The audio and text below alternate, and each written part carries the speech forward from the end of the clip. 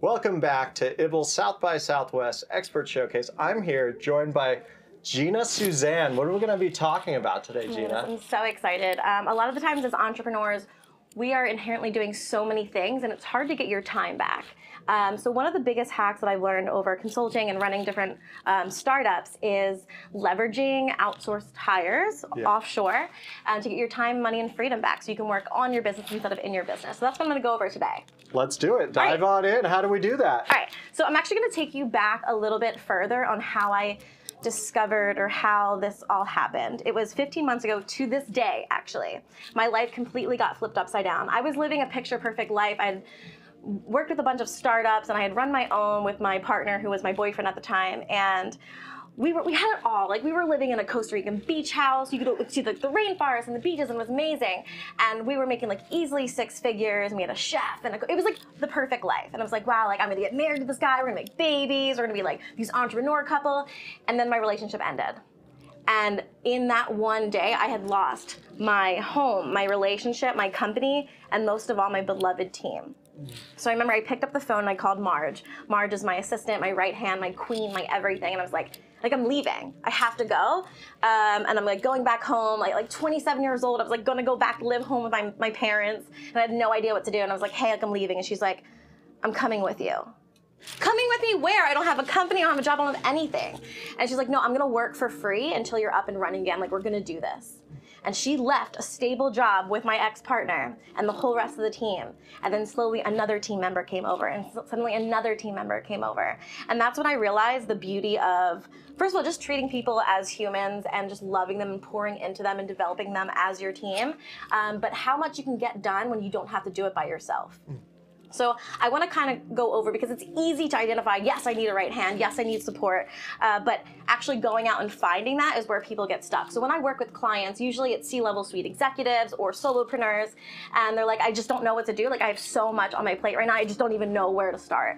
Um, and I tell them, okay, if I were to go to you as a sales coach and I'm like, hey, I need help with my sales, they'd be like, great. But what are your numbers right now? So if anyone's coming to me and they're like, I need to get stuff off my plate, I'm like, where are we at right now? So I suggest everyone, and this is where I start with all my clients, is what I call a time audit. And if you stick to the end of this short piece of content, I will actually send it out to you. Um, and it's basically a spreadsheet, and I'm having you track your time in 15 minute increments across a week or two. Because I want you to identify, you know, what are the things that you're doing, and then I have you analyze it. You know, is this revenue generating? Can you outsource this? Will you outsource this? Do you want to spend more or less time on each of these things? So you're tracking it 15 minute increments across two weeks, and that's going to give me a lot of data that can say, you know, what kind of person should we hire for you? What should they be doing? And then like what kind of person should we have for this task? So I'm not going to teach you, you know, how to be a really good human and take care of your team, but I want to give you some actionable tips on how you can delegate with extreme clarity um, through this time audit.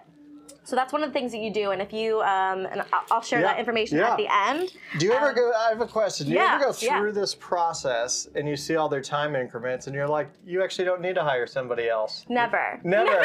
So, so no, okay. never. Okay. Just Because- didn't know that. Yeah, so actually, me and my team, we do it every 90 days. Do I keep hitting the mic? I apologize if I You're good. Um, but yeah, we do this every 90 days because there's always going to be things that creep up onto your schedule, and you're like, you know, what? I don't have to be doing this. I shouldn't be the one doing this. Gotcha. So just like getting those numbers and just like restructuring every 90 days. And people like Tony Robbins, Russell Brunson, like I learned these from this these guys, Yeah. working alongside them, being in their masterminds, and just getting this valuable because like knowing your numbers is everything. Yes, it is. Yeah. So, that's like where I like help people start. Where, what else do you want to share with us? Yeah, Today? yeah. So now that we kind of know uh, what we want to delegate, now it's time to go and find that hire. So I love hiring from the Philippines. They're incredibly loyal. They're incredibly hardworking. Their English and communication skills are spot on.